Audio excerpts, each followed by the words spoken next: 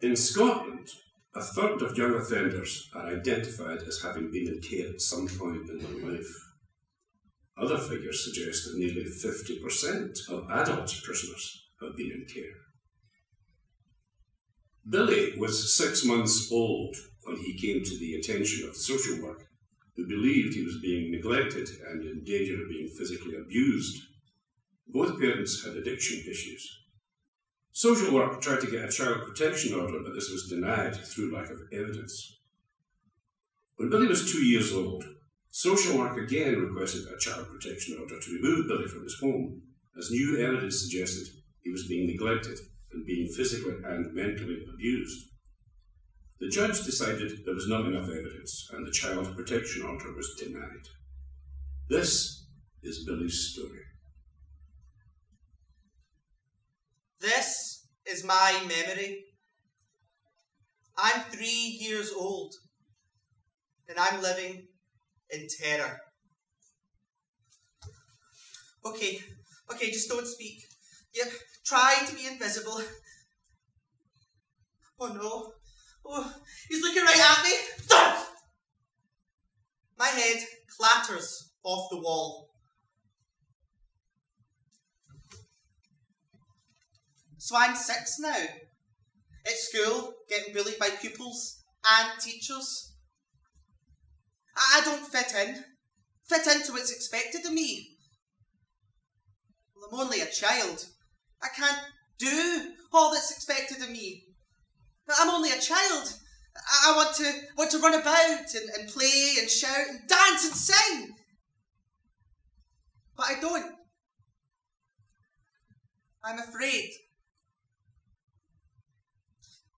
Billy doesn't concentrate in school. He will have to try harder. That's what teachers tell my tormentors from parents' evening. So that's another thrashing. Not, not that they cared how I was doing at school, you know, but any excuse for a beating. By the time I'm 12, I've been in about 10 foster homes. Never for very long, of course, you know, always sent straight back to the parents. At this point, I hate everyone, including myself. So I'm 13 now, right? And my, my mind is, is cracking like a, like a window, blown out in a war zone, you know, there's just too much pressure. Let me be! I'd never had many friends. So when a couple of the guys asked me if I wanted to go about with them, I, I couldn't believe it, you know. I mean, I, me, was going to be one of the gang. Here, have a sip of that, one of them said. So I sipped it. It tasted alright, you know. So I had some more, and I had some more, and then all of that fear that had been in my gut since I was three years old just just disappeared. My God, this was magic stuff. Ah, well, I had to have more of it, you know. well, I didn't have the money to keep myself in my newfound happiness, so some of the guys turned me to shoplifting. Fucking, I was good at shoplifting, you know. I was, I was wee, I was fast, and I'd really learned how not to draw attention to myself. And I got a lot of respect for the guys. I felt good about myself, and I didn't care if what I was doing was wrong. After all, nobody ever cared about me so why should I care about anybody else?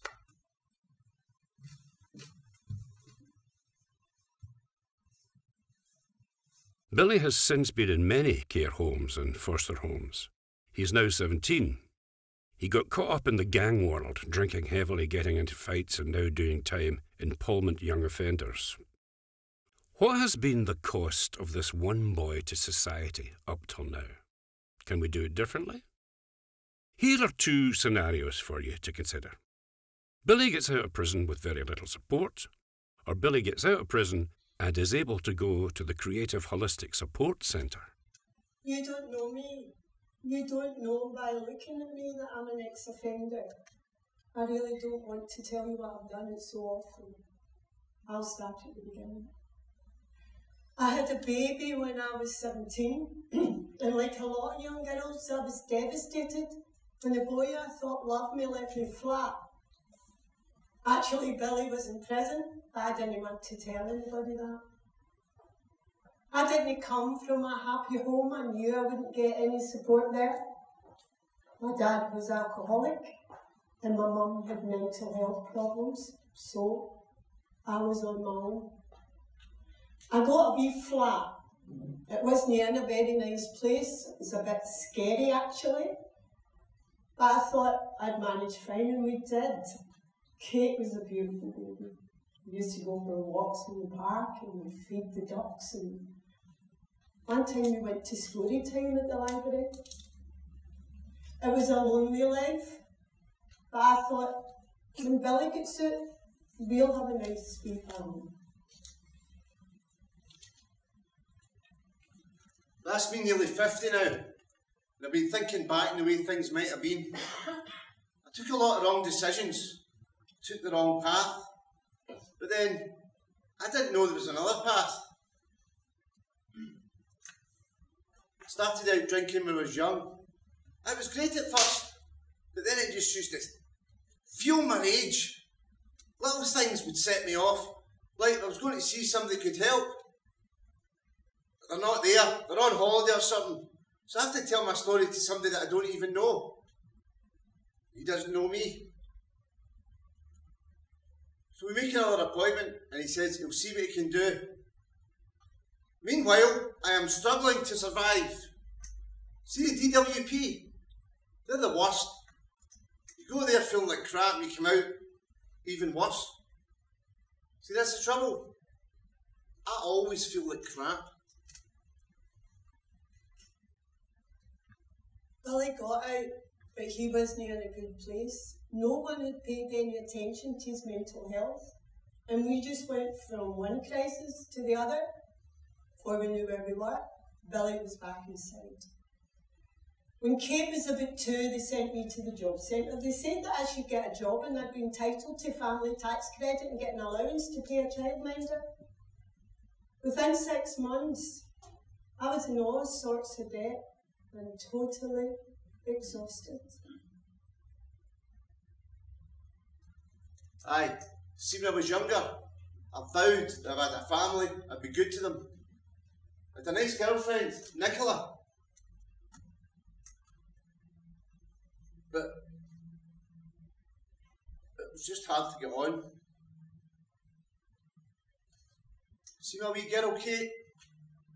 She get taken into care. The wee one was crying on it teething, and when I collected her for the childminder at night, I had to go home, make the dinner, bathe her, clean the house, do the washing. I just went in circles. I felt totally trapped. There was no one to help or support me. I was getting so depressed, like I was sinking into a big black hole. One night, I was so tired, and Kate was screaming. I didn't mean to hurt her. I just shouted, please stop crying, and kind of half threw her into her cot.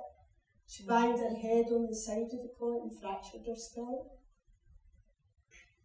Thank God she didn't die.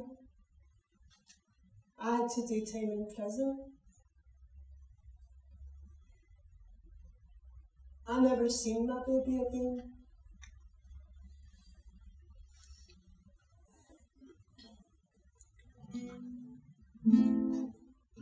Culture accountability, splitting and deluding me, concreting the identity of who you say I am. I take my place in society, self paradigms collude with me, concreting the sincerity of who you say I am. Influence, policy, conditioning, and history, reference, strategy, inheritance, and legacy. Life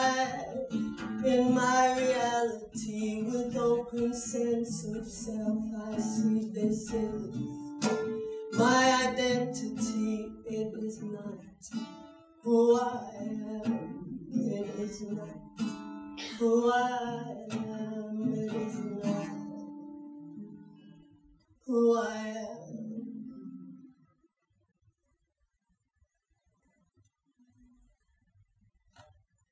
I never seen Nicola now.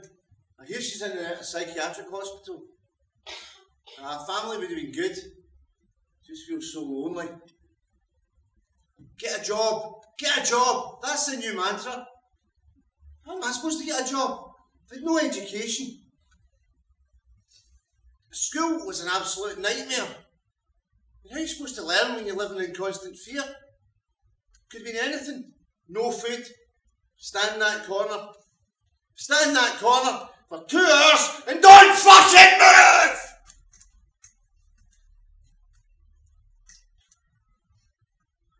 Aye, first time I was in a prison cell, I was scared. In fact, I've probably been scared most of my life. And yet, sometimes prison can feel like the safest place you've ever been. I used to think no one would understand my problems, would know where I'm coming from, would take on board what I've been through.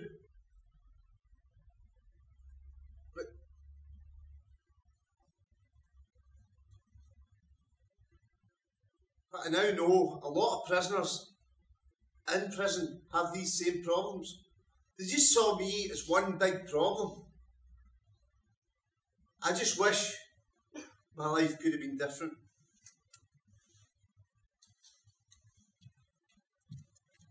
While I was waiting for Billy coming out of prison, I was advised to go to the holistic centre. It was tough waiting for Billy. I got good advice, great support at the holistic centre, and I felt quite confident about having the baby. The Billy was taken right to the centre the prison through the care officers when he got out, and it was them that got more settled with paperwork and stuff. There was no fear or confusion there because nobody was telling you to, right, sit down, you need to fill that form out, phone that person, phone that department, then leaving you just to get on with it all yourself. And they treated you like a human being. I got out of prison just before Nicola had the baby. I'd been attending these uh, antenatal classes in Polmont, so I kind of knew what to expect, and I could help out, you know, with the feedings and the changings and that. When I first held my wee girl in my arms, thought my heart was gonna bust. Remember Kate's first birthday? Had a wee party for us down at the centre, and Max, that worked in the centre's kitchen, she made a wing of cake. It was so lovely to feel that someone really cared for us. I started taking the cookery classes there, and it was amazing. You're learning all about the great meals you can make on a budget. There was loads of help and support from me and Billy, especially for you, Billy. There was plenty of therapy to help him deal with all the bad things that happened to him when he was wee. I worried about Billy getting back onto the drink hanging back with the gangs, but I think it was the structure of all the things that were going on in the centre kept him occupied and kept him out of trouble. So that's our cake five now, right? And would you believe it? This time it was actually Nicola that baked the cake. and when it came to wee Kate's first day at school, we both took her to the gates. I tell you, that day I was just so proud. That's Billy been working for over a year now. He's doing well. You know, it turns out he's really sharp with the numbers. So I trained him up for a manager's job. I volunteered at the centre, and I never knew just how good I could be in the kitchen. The training was great. It gave me real confidence. So much so, I get myself a part-time job. So, just when things were looking up, the firm that I was working for goes bust. So that's me. Unemployed for the first time in 10 years. Well, it hit me kind of hard, you know. I fell into a bit of a depression. And uh, I think it affected Nicola too. We'd argue about a lot of different things, you know. Food, money. I mean, because it's no hard to just spiral into debt. I encouraged Billy to get down to the centre, get some advice, and it was a godsend. They helped him with the form filling for the housing benefits, and also they got him onto a new computing course. He loves that. So it stops him from getting stressed and worried or bored. And the centre's not just for us. Our Kate is in the drama club at the centre as well, and she gets stuck into the music classes there. You know, it's so good that she gets a chance to deal with these things. Going to be finishing up in secondary school soon. Talking about going to college. That's me, Billy. Going to be hitting 50 soon. It's been an eventful life. And he say we've no had the wee bumps along the road. We've come through. Kate done really well at college. Get herself a right good job. And now me and Billy, we've got two beautiful grandmates. You know, thinking on where we started, you know, if we hadn't had the full support of the Holistic Centre, things could have been, well, things could have been different. I believe you're right, things could have been really different.